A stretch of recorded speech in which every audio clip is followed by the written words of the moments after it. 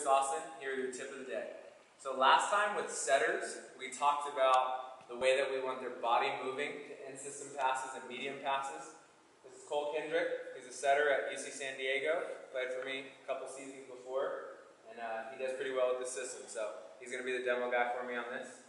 Okay, so we want to talk about the difference between in-system passes and medium passes and the way that our set is going to change. So whether we're talking about high balls, in-system second set tempo balls that are a little more round. We're talking about really flat, fast sets, quick sets, anything.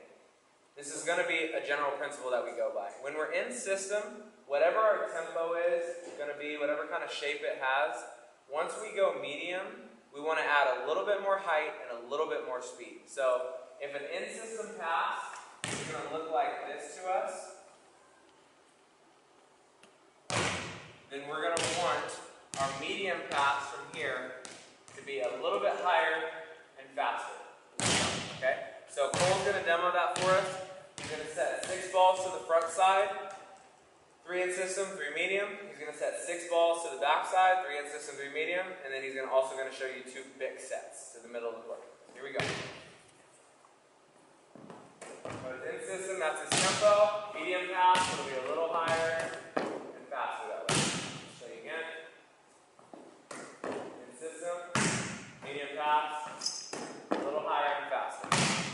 Notice how the ball has a little more shape when he comes off the net. Okay, the last thing we want is a ball that dies fast on our hitters and limits their shot selection. We want them to have all the shots that they want available. Two more here. In system. Good. Medium pass. A little more high, a little more fast. Okay, back sets. Same thing. Overhead. That's his in system ball. He squares his hips. Over the shoulder. Medium pass. Pretty good system. Nice. Medium.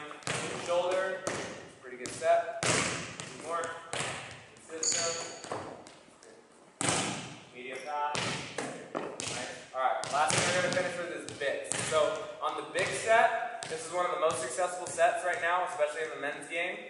In system, as we put it about four feet away from us, in the seam, six, seven, eight feet off the net when it peaks.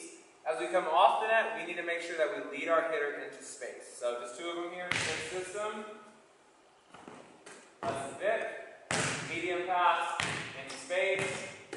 That's the bic. And that's your tip of the day.